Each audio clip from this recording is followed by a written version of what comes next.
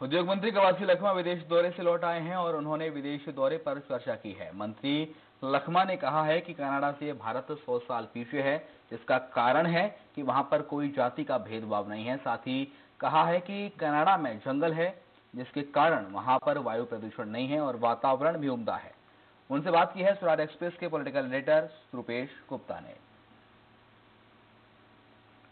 एक हफ़्ते तक कनाडा रहने के बाद कनाडा के दौरे से उद्योग मंत्री कवासी लकमा लौट आए हैं। उनसे बातचीत करते हैं कि आखिर कनाडा दौरे का हासिल क्या है।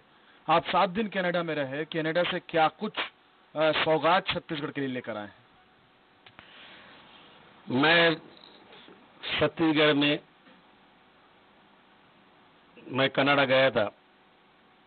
उसके लिए छत्तीसगढ़ का जनता को और छत्तीसगढ़ के मुख्यमंत्री को मैं बधाई देता हूँ। एक बस्तर में पैदा हुआ आदमी को उद्योग विभाग संभालने के बाद मेरे को मुख्यमंत्री, हमारे यहाँ के मुख्य सचिव, वित्त विभाग के सचिव और हमारे उद्योग विभाग के अधिकारी लोग साथ माननीय मुख्यमंत्री का भी कार्यक्रम था, ना मेरा भी था, लेकिन मुख्यमंत्री अपने घर में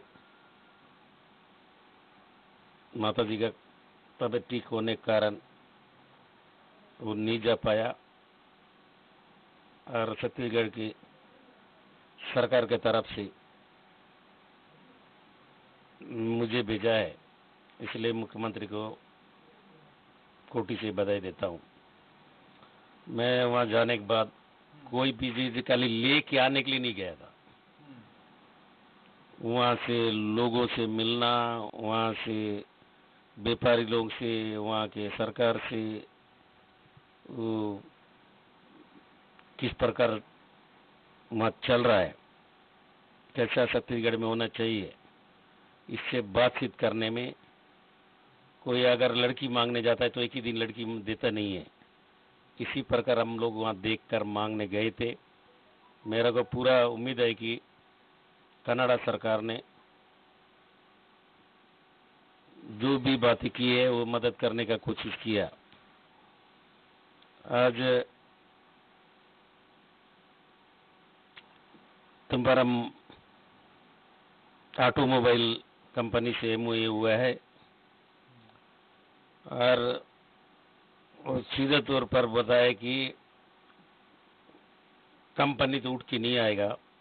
अगर या कोई भी उद्योगपति अगर उस कंपनी को लगाएँगे वो पूरा टेक्नोलॉजी छत्तीसगढ़ को देंगे और मदद करेंगे।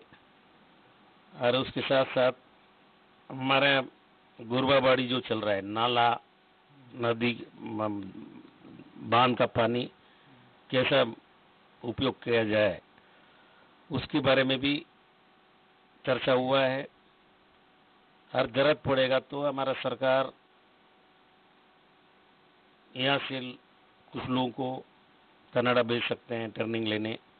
वो भी आ सकते हैं, और सरकार मदद करने के लिए तैयार है। तो ये थे कवासी लकमा जो कि साफ़ तौर से कह रहे थे कि चूँकि प्रक्रिया इतनी जटिल है, जो स्थिति है, जो शराबबंदी को लेकर के जो परिस्थितियाँ इस प्रदेश में हैं, वो इतनी जटिल है कि एक बार में फैसला नहीं लिया जा सकता है। इसके सारे फ़ायदे और नुकसान का आकलन करना पड़ेगा, और उसके बाद ही इस पर फैसला होगा। कैमरा लोगों की